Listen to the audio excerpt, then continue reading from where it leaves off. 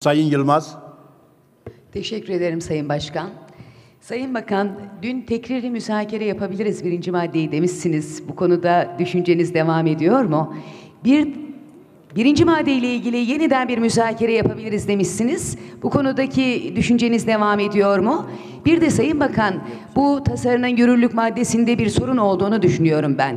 Çünkü birinci maddeyle ilgili yani Tapu Kanunu 35 ile ilgili 6 ay sonra yürürlüğe girer, 36 ile de ilgili 3 ay sonra yürürlüğe girer diye bir e, orada yazım var. Ancak birinci maddesinde 35. maddede askeri yasak bölgelerle ve özel güvenlik bölgeleriyle ilgili koordinat bölgelerinin Milli Savunma Bakanlığı'nca verilme süresi bir yıl olarak belirtilmiş. Şimdi yani burada bir hata mı yapıldı, bilinçli olarak mı yapılıyor? Askeri yasak bölgeleri de satılması mı düşünülüyor?